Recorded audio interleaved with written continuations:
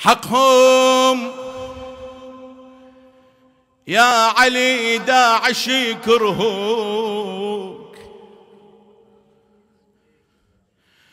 حقهم. يا علي داعش يكرهوك لأن ربهم هبل وانت حرقت ربهم صلوات.